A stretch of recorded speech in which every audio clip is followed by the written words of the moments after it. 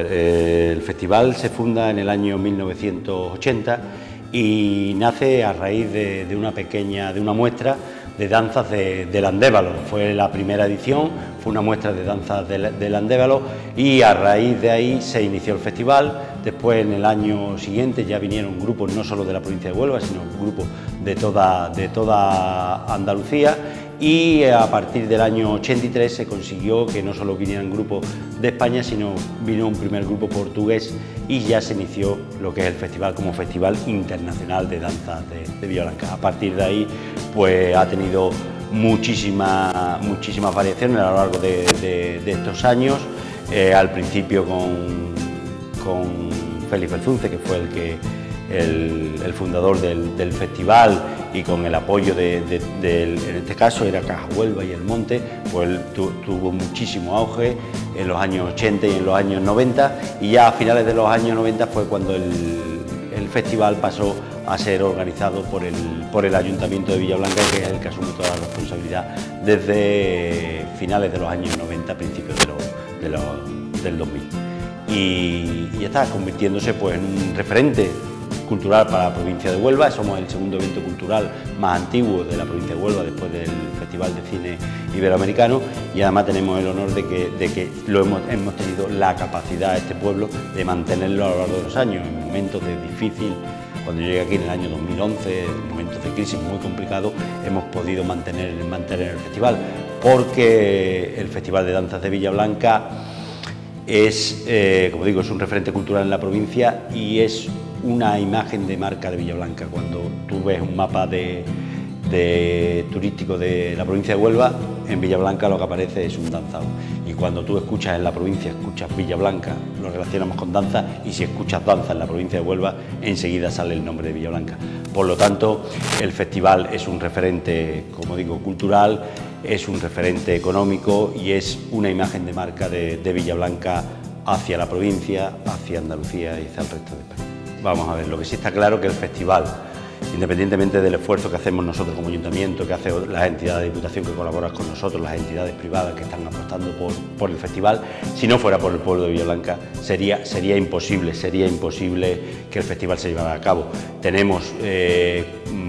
más de 50 voluntarios jóvenes que colaboran con el festival, que hacen de cicerones, que acompañan a los grupos que se hospedan aquí, que acompañan a la gente y las acomodan en la plaza, que se encargan de muchísimas cositas de logística que hacen falta y que sin, ellos sería casi imposible porque no tendríamos capacidad económica para hacer la labor que, ellos hacen. ¿no? Y después el pueblo se vuelca. Puedo decir que esta mañana eh, se han puesto a la venta las entradas a las 9 de la mañana y anoche a las 1 y media de la madrugada ya había gente en cola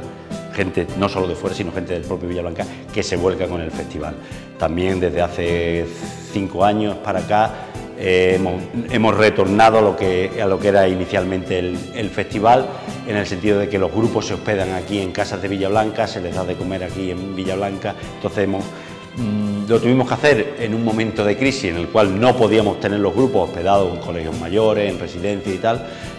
lo tomamos como una idea y retomamos la idea inicial. Entonces lo que hacemos es que los villablanqueros nos ceden sus viviendas, son segundas viviendas que tienen y allí hospedamos a los grupos, tenemos un servicio de cocina, un servicio de comedor, un servicio de logística y al final ¿qué hacemos? Pues que los grupos están aquí, el intercambio cultural es mucho más bonito y eh, conseguimos también pues dar empleo. Ahora mismo tenemos, tenemos más de 10 personas empleadas de Villablanca que prestan esos servicios al, festival. Nosotros lo que conseguimos no solo son esas dos horas y media de, de espectáculo, que quedamos en, la Plaza de la Constitución, en el escenario, el escenario del mundo, como le llamamos, le llamamos nosotros, sino es desde hoy que ya nos ha llegado los grupos, pues ha llegado esta mañana Bosnia y Herzegovina, Colombia nos llegará en, un rato, pues lo que se produce es un intercambio cultural entre eh, Villa Blanca, entre todos los villablanqueros y todas las personas que, vienen,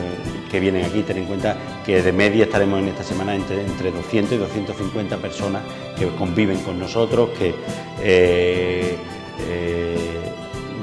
disfrutan de Villa Blanca en estos días. Bueno, pues este año, como viene siendo habitual en los últimos años, tendré, como he dicho anteriormente, son dos noches, jueves y viernes, actuarán cinco grupos cada, cada noche y el festival siempre el primer el primer grupo que danza en el, escenario de Villablanca es la danza de los palos, es la que inaugura desde hace 36 años y en este caso en la edición 37 siempre inaugura la danza de los palos. Para el jueves tenemos tenemos grupos de, gran calidad, como puede ser el grupo de, Filipinas y el grupo de, Georgia, y para el, viernes tenemos previsto eh, grupos de eh, Argentina, grupos de Colombia, de Bosnia y Herzegovina, incluso en este año hemos querido invitar, como estamos haciendo otros años, siempre a una, a una comunidad autónoma. El año pasado estuvieron aquí desde el País Vasco, en este caso vienen desde Andalucía, en concreto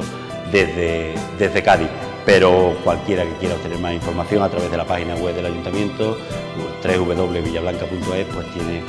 eh, información total sobre todas las actuaciones previstas en, esta edición del Festival Agradecer a, Huelva Costa la, oportunidad que me brinda y aprovechar la, la cámara que tengo aquí delante para invitar no solo a los villablanqueros que están invitados y que participan, sino a todos aquellos que nos visitan y que están disfrutando de la costa de Huelva para que o bien la tarde del jueves o bien la tarde del viernes vengan a Villablanca a disfrutar de un espectáculo único y maravilloso y que les va a sorprender por su colorido, por su eh, efectividad y porque es un espectáculo digno de ver y de disfrutar.